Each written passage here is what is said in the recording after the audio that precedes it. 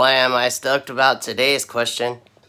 In the watercolor world, we have what's called standard brushes and specialty brushes. That's right, check these out.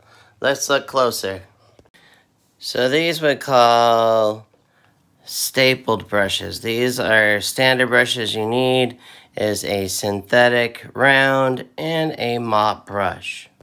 The mop brush likes to hold lots of water. The synthetic round holds less water. These are the two brushes that you definitely have to have. Now we can look at the specialty brushes. This fan brush by Escoda makes great textures for trees and wonderful nice hard shapes in your foregrounds. These Loose Goose by Cheap Joe's Art Supplies make wonderful masks for your boats. Put in the comments what specialty brushes you have.